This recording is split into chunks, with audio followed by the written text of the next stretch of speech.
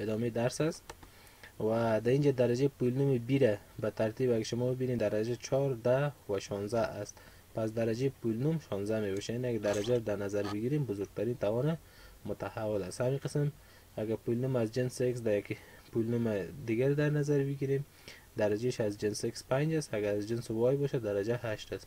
پس به می دلیل می‌تونیم اگر یک پولنوم دارای چندین توان باشه باز ما می‌تونیم توانهاش یعنی چندین متحوله باشه بزرگترین توان متحولین مجموعش رو بگوییم.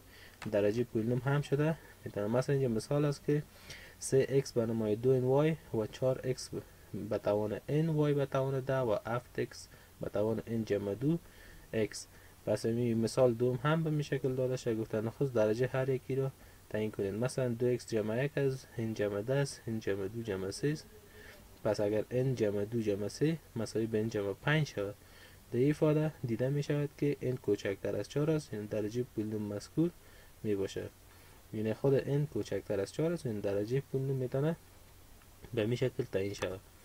و همین قسم مثال بعدیش بر شما گفته که درجه پولنوم اصلا تعیین بکنین. یا پولنوم از 3 n مثبت یک است و دیگهش جمع دو. 3 n جمع 3 است و n جمع 20 و 5 n منفی 3 است. بازم درجه پولنوم ببینید که n مثبت 20 در حقیقت درجه پولنوم است چون بزرگترین توان داره و این قسم درجه پولنوم های دیگر شما اینجا تعیین شده. در مثال های بعدی ببینید که درجه ها را به شکل بسیار منظم تعیین شده. شما می‌تونید که مساوی قرار بدین بعد از درجه پولنوم ها را بیارید خب یک پولنوم در حالت استاندارد است یک پولنوم در حالت استاندارد. دارای کدام خصوصیت میگه اگر در یک پولنوم ضریب بلندترین حد آن خلاف صفر و مطابقی ضرایب آن صفر باشد و یا خلاف صفر باشد موضوع پولنوم ما پولنوم استاندارد گفته می‌تونیم. فقط ضریب x یعنی اینش بلندترین ضریبش که ضریب این از خلاف صفر باشه. موضوع پولنوم در حالت استاندارد گفته میشه. اگر دیگه حدود صفر یا خلاف صفر باشه باز هم پولنوم مثلا مثالش است یعنی اینجا می‌بینیم 5x برای 3 است یک پولنوم استاندارد است. اگر حدودش یعنی ضرایب دیگهش صفر هم باشه کدام تفاوتی نمی‌کنه. ما می‌تونیم بگوییم که این یک پولنوم است. دیگه انواع پولنوم های الجبری است.